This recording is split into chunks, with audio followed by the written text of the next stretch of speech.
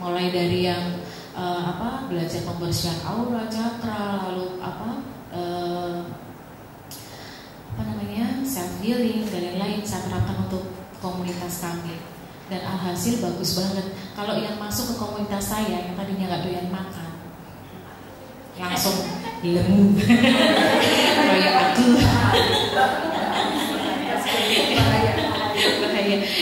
jadi uh, di situ bahwa saya bilang sama mereka bahwa orang sakit kanker tuh harus ngedan ngedan dalam arti itu seneng gitu.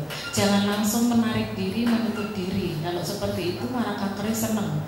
Jadi dia tambah merebaknya cepat banget kan. Dia kayak kepiting kan berarti. Nah gitu. Terus saya berkenalan uh, dengan apa hipnoparenting untuk anak saya dan hipnofertility banyak hal saya belajar dari hipnoparenting Indonesia ini uh, di klinik juga sudah jalan kita punya kelas kita punya kelas hipnoberting mulai dari private sampai yang kelas gitu. Dan pasien-pasien saya malah justru tidak uh, banyaknya yang dari luar Ungaran gitu seperti Mbak Yesi pasiennya dari Jakarta dari mana-mana itu saya juga sama. Artinya tidak di lingkungan Ungaran ke Semarang Salatiga gitu mungkin nanti rekan-rekan juga begitu.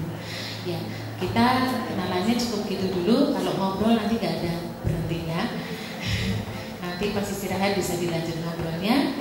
Mungkin ada yang ditanyakan tentang saya silakan. Nggak ada? 2004 tadi udah bilang. Iya. 2004 sekarang sehat bersih. Dulu ini bekas operasi saya di sini. Ya saya cek sampai terakhir baik ya kalau orang melihat saya kayaknya kayaknya kok sih kanker kalau orang nggak pernah ketemu saya teman katanya sakit kanker apa kanker tenan kantong kering kok. Gitu. Lu tenang. Jadi nggak eh, banyak yang nggak percaya karena lihat foto kayak postur saya yang kayak gini. Gitu. Ada lagi pertanyaan sudah cukup. Terima kasih. Eh, semoga kita semakin dekat sampai besok dan sampai selanjutnya. Matur nuwun.